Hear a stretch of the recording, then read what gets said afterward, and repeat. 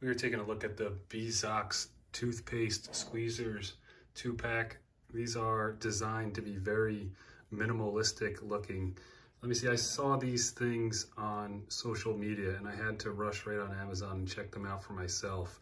So the way this works is you take a tube of toothpaste and this will pop right out and you'll see there's a slit in here and you just slide the end of the toothpaste on here put it back in, and then as you twist this, it will begin to squeeze all that toothpaste up to the top of the tube here.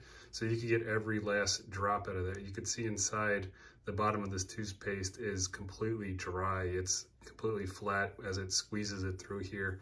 Really neat device. This works really well.